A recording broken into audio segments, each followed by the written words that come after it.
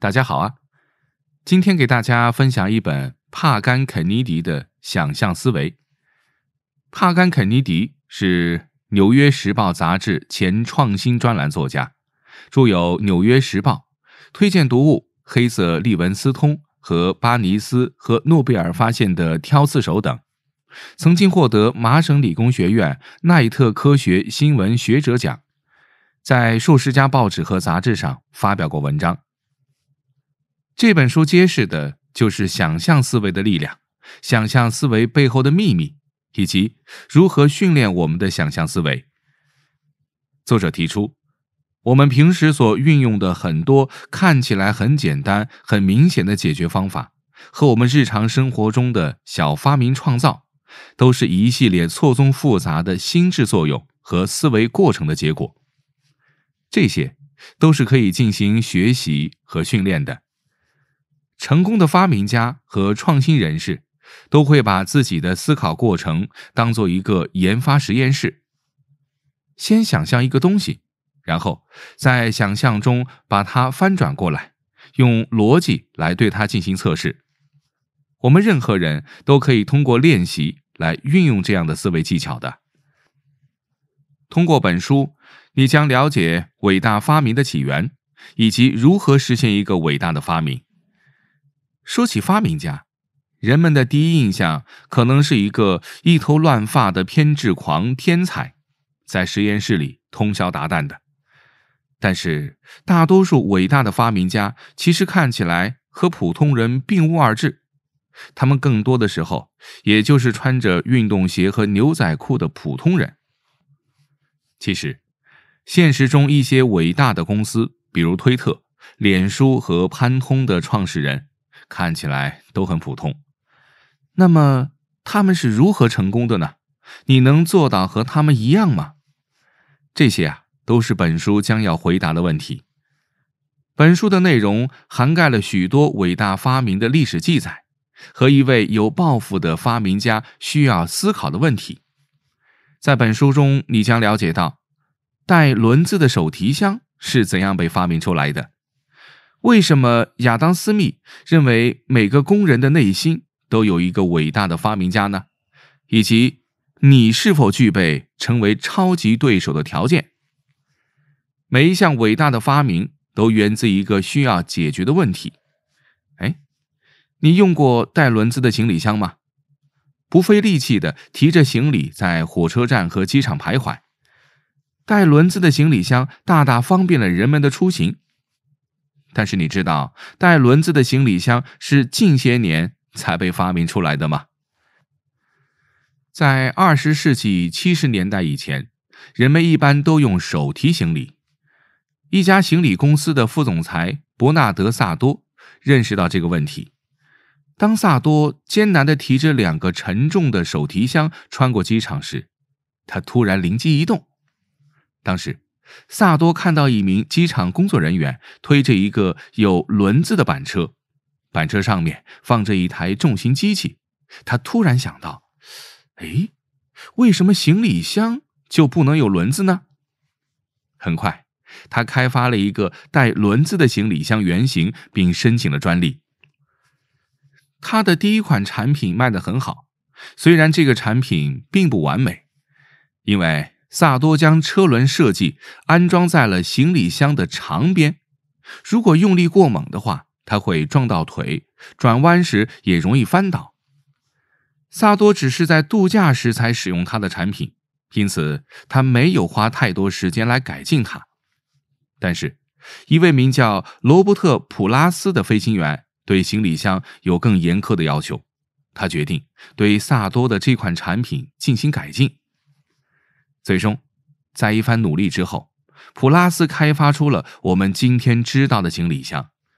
他把轮子放在行李箱短的一边，并且加了一个坚固的把手，这样呢，箱子就不会翻倒或是撞到腿上去了。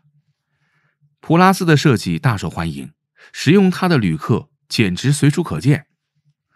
那为什么罗伯特·普拉斯能造出比萨多更好的手提箱呢？由于普拉斯每天都要出差，他对行李箱有更加深刻的需求和理解，这时他找到了更好的解决方案。接下来，我们来分享为什么熟悉产品是成功的关键。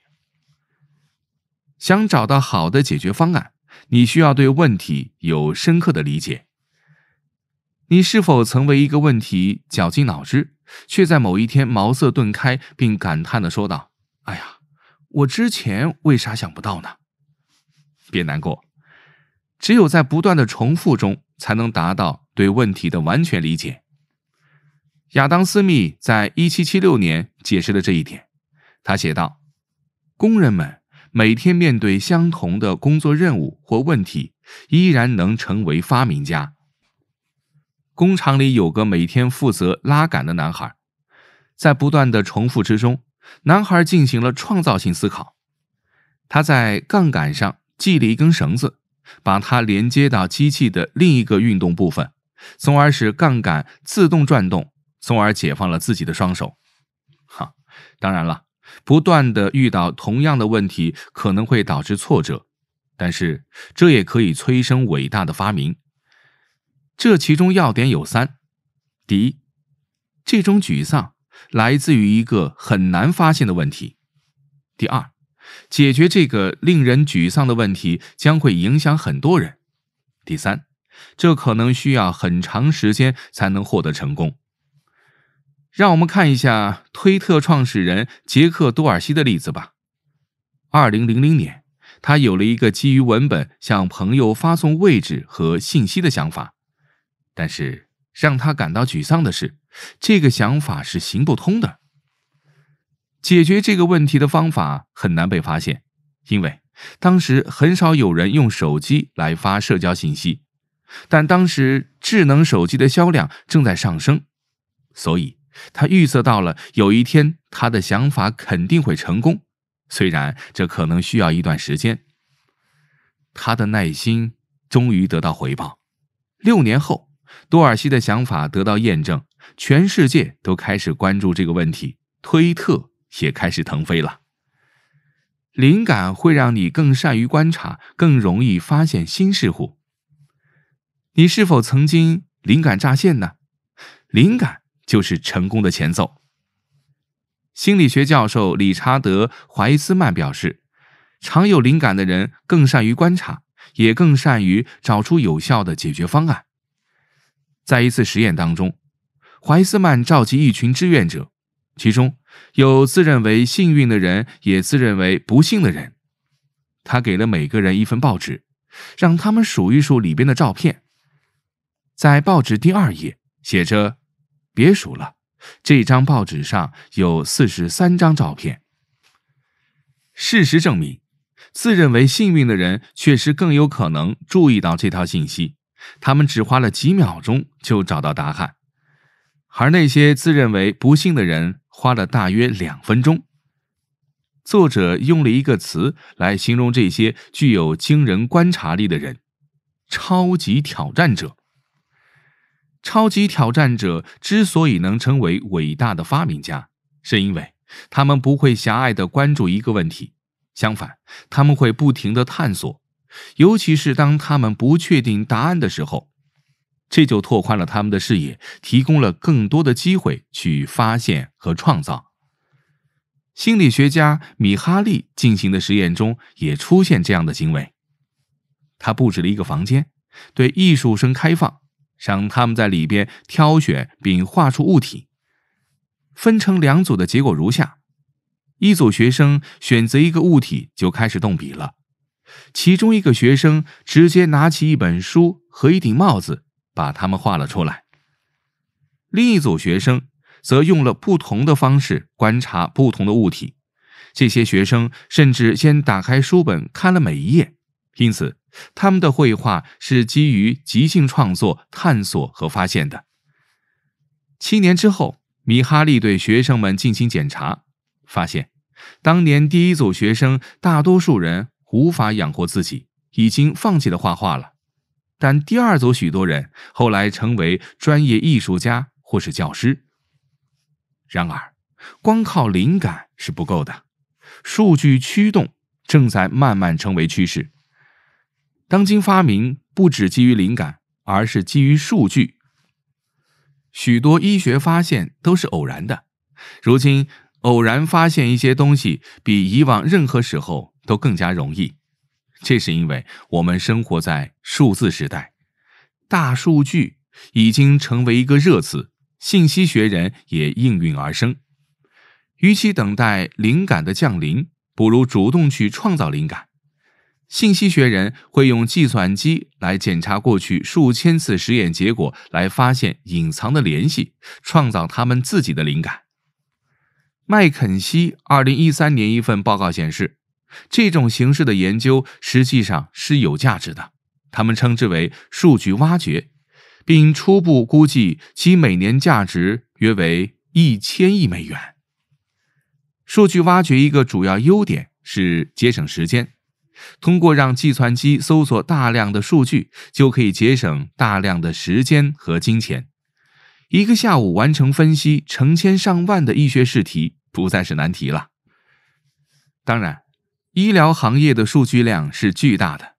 事实上，其测量单位已经上升到了 PB，一个 PB 等于一百万亿兆字节。如今的数据挖掘算法可以在极短时间内检查未被使用的信息，从而带来惊人的发现。比如旧药物的新用途。以丙咪嗪为例，它本来是作为抗抑郁剂被开发出来的，但是研究发现它也可以用于治疗小细胞肺癌。在数据挖掘出现之前，这样的发现需要花费几十年的时间。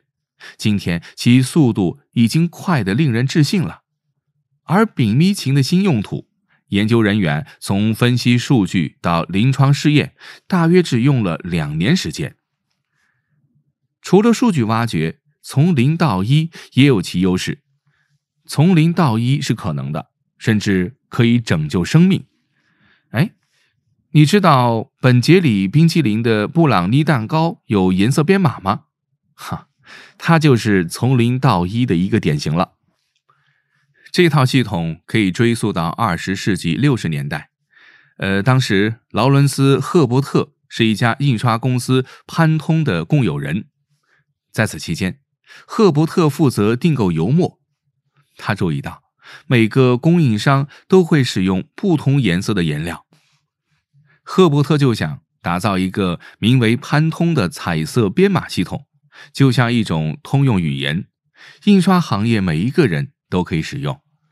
每种颜色都有对应的数字，比如黄水仙色等于潘通一二三。他自己创建了一个宣传页，并开始说服业界相信其潜力。虽然推出潘通并不容易，但是赫伯特从未放弃。最终，他开始流行起来。到上世纪七十年代。潘通每年的授权费已经超过一百万美元。赫伯特白手起家，创造了一项有价值的发明。他拥有的只是一个想法和一张纸。时至今日，创造性的魔力依然未减。现代研究表明，肠道中的微生物对我们的健康至关重要。但如果这些微生物的水平失衡，其后果可能是致命的。会导致艰难梭菌等胃部感染疾病。科学家发现了一种治疗艰难梭菌患者的独特方法。医生从健康捐赠者粪便中提取了微生物，通过输注将它们移植到病人肠道之中，数小时内就能治愈致命的感染。这就说明新想法无处不在，这也是一个从零到一的例子，而且。你不需要大笔的资金或一个科学家团队来创造一个惊人的发明，就像下文将要讲到的，你所需要的只是想象力，试着预测未来会帮你实现伟大的发明。维恩·格雷茨基也许是有史以来最伟大的冰球运动员，他的成功秘诀是预测球的方向，而不是跟随他原来的方向。发明也需要预测，而这并不简单。你可以尝试玩维根格雷茨基的游戏，想象几十年后的世界里，什么技术将会依然存在。出发点呢，不需要离开人类的欲望和技术的迭代。以施乐公司为例，二十世纪七十年代，施乐公司成功的预测了未来，并提出一款面向消费者市场的个人工作站，配有鼠标、文字处理器和图形用户界面。但是，准确预测也并不总是那么容易的。二十世纪六十年代中期，战略家赫尔曼·卡恩试图确定预测的有效性。他请当时的领军人物为二零零零年做出一百项技术预测。事实证明，对通信和计算的预测大约有百分之八十的准确率，其中包括对互联网、录像机和手机的准确预测。与交通、医药和建筑有关的预测准确率最低。其中包括对冬眠飞船和减肥药的错误预测，但是这也说明一个准确的预测可以促进变化的发生。以摩尔定律为例，计算机的计算能力每十八个月会翻一番。摩尔自己后来说，在他于二十世纪六十年代提出他的理论之后，该理论引发一系列行为，科技行业的人开始意识到。如果他们的行动不够快，就会落后于摩尔定律，这样预言就变成一个自我实现的预言，从而成为新发明的推动力。实现伟大的新发明并不容易，但是我们很快就能了解到，每一个人都有能力做到这一点。把大脑当成测试实验室，会帮你实现伟大的发明。头脑是一个强大的工具。你可以用它创造想法和发明。许多最伟大的发明家在把他们的想法勾画出来之前，先会用他们的想象力进行创作。尼古拉斯·特拉斯就是以这种方式出名的。当他还是一个孩子的时候，他会花很多不眠之夜想象新的城市和建筑。十七岁时，他开始把这些想法变成发明。特拉斯可以在他脑海中清晰地看到他的发明，他不需要任何模型或草图就可以开始创作。对于他来讲，这些景象如此的清晰，以至于他梦想着发明一种相机，能够从脑海中捕捉画面。发明家艾隆·马斯克延续了这个梦想，他建造了一个系统，让人们可以通过在空中移动双手来设计物体。那么，如何让这些想法成为现实呢？从问问题开始，让你的思维活跃起来。作为一名写作老师，作者见证了许多学生是如何探索他们的创造性思维的。一个学生告诉他，他头脑里已经有了整部电影的情节，只差把它写在纸上而已。当作者一周后和他会面的时候，这个学生仍然无法把所有内容都写下来，他只是不知道如何开始。为了帮助他，作者问了这个学生：“电影是怎么开始的？采用什么样的视角？甚至你认为电影中会有什么气味？你能想到的每一项发明都有成千上百的细节可以转化成这样的问题。尽可能多的问自己问题。”从而帮助设计和实现你的想法。想象力是发明的先驱，因为每个人都有想象力，所以每个人都能想出伟大的发明。人人都能想出好主意，不是只有专家才可以的。你可能没听说过约翰·哈里森吧？他是一个英国木匠和钟表匠。他在1714年为英国议会解决了一个问题。赢得两万英镑，呃，大致相当于今天的两百万英镑。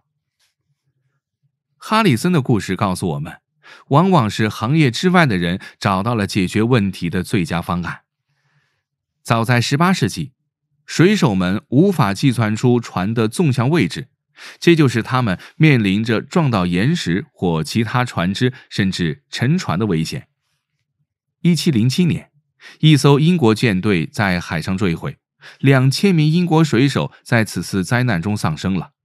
因此，英国议会在1714年提出，如果有人能找到在船上精确计算精度的方法，就能获得高额奖金。